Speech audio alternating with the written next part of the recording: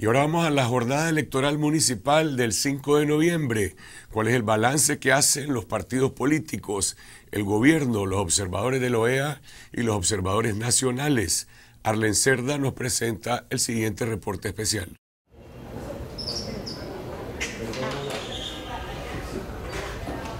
Las votaciones municipales del 5 de noviembre estuvieron marcadas por una masiva abstención. Según cifras oficiales del Poder Electoral, la participación incluso fue más baja que en las votaciones nacionales de 2016. El Consejo declaró ganador al gobernante Frente Sandinista en 135 de las 153 alcaldías del país. El Partido Liberal Constitucionalista tendría 11 alcaldes o alcaldesas. la Alianza Frente Sandinista Liberación Nacional tendría 135 alcaldes y alcaldesas. El partido Alianza Liberal Nicaragüense tendría una alcaldía y el Partido Ciudadanos por la Libertad tendría seis alcaldes o alcaldesas. El índice de personas en la fila era muy parecido a las de las elecciones pasadas y basta decir que en las elecciones pasadas estábamos enfrentando cifras récord de abstención. La jornada tampoco estuvo exenta de irregularidades y en los días posteriores se reportaron brotes de violencia en el Caribe y en el norte de Nicaragua.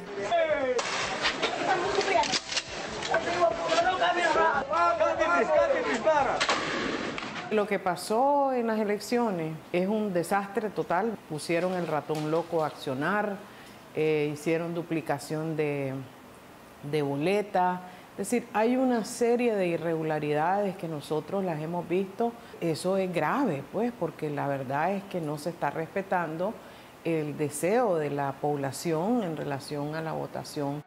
Ellos no se pueden decretar ganadores, porque las elecciones no las han ganado con transparencia. No podemos aceptar una derrota con eh, escondiendo boletas, con apagándose de, luces, entonces, etcétera, de cosas.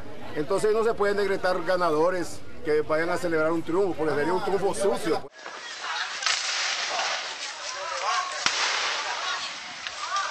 A los fiscales de Yatama los sacaron afuera y solo quedaron ellos para eh, marcar todas las boletas que no permitieron a la gente ejercer su voto, que eso es lo que hemos dicho, que desconocemos los resultados de las elecciones. La violenta jornada postelectoral dejó un saldo de siete muertos, entre ellos cuatro misquitos. Además, hay decenas de heridos, detenidos y daños a la propiedad privada y pública. En una decena de municipios también han denunciado la militarización de los territorios, la intimidación y persecución policial y el hostigamiento de simpatizantes y turbas orteguistas. Yo no sé cuál es el miedo, porque aquí todos tenemos que respetar. Cuando nosotros hacemos las las concentraciones las hacemos de una manera pacífica y ellos han traído gente, reventan cohetes, la gente está atemorizada.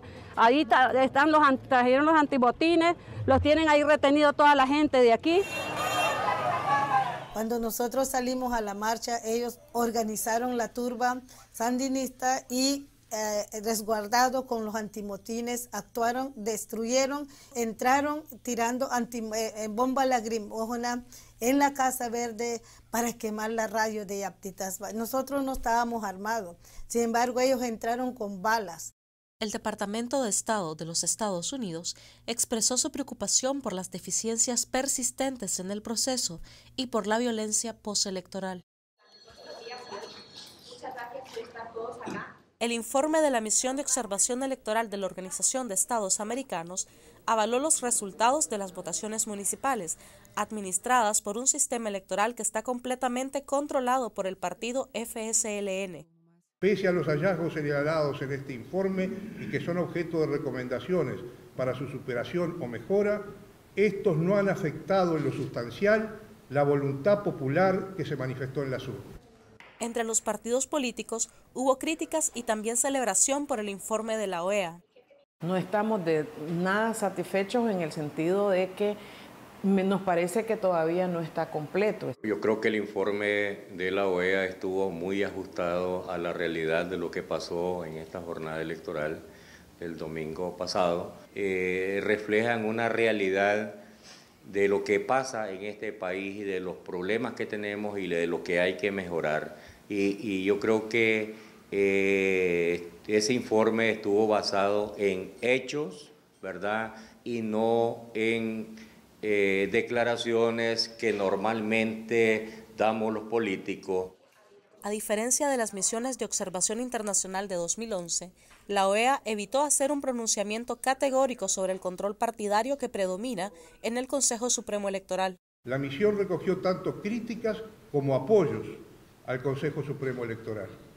La confianza en las instituciones es un elemento fundamental en todos los procesos electorales.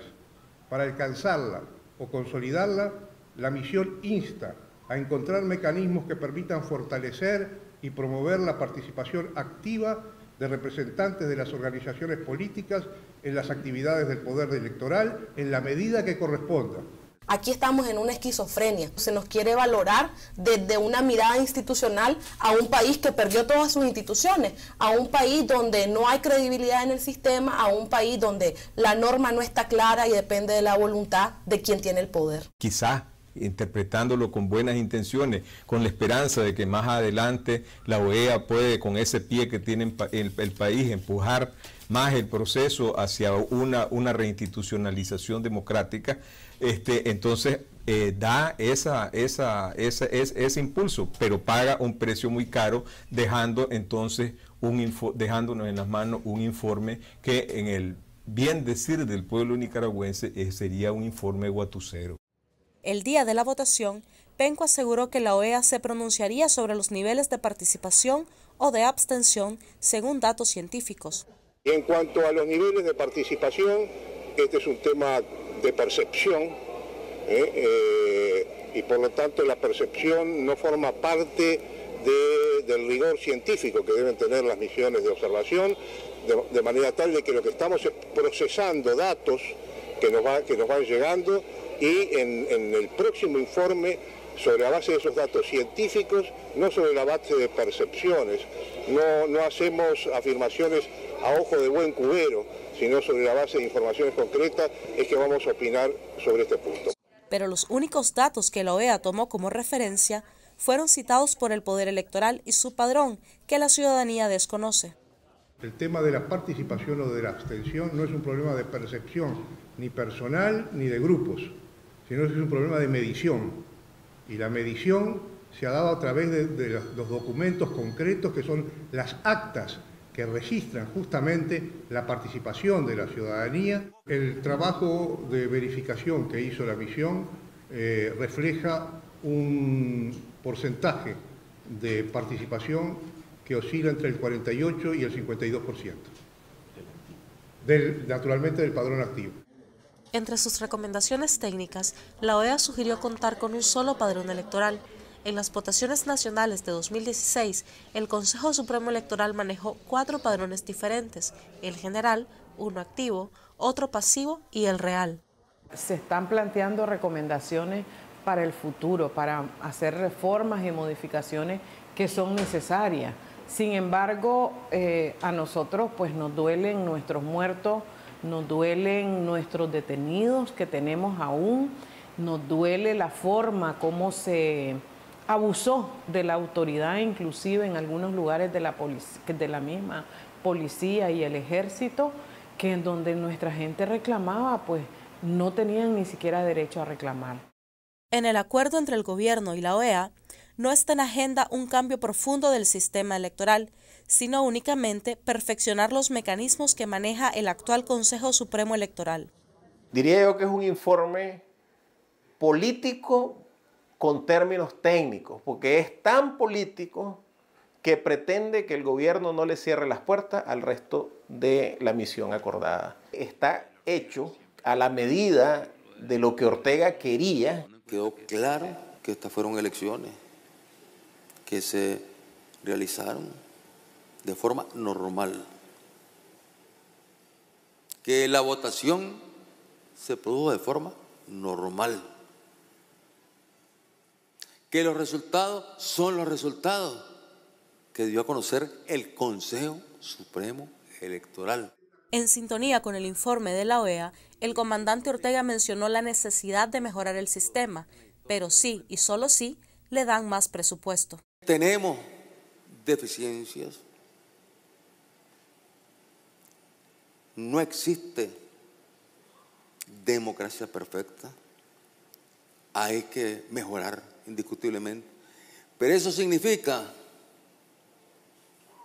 dinero para ir mejorando, ir perfeccionando de acuerdo a nuestras posibilidades. Gracias por ver este video. Si les interesa conocer más sobre el periodismo independiente que realizamos, los invitamos a suscribirse a este canal para recibir todos los reportajes y entrevistas de esta semana, esta noche y confidencial.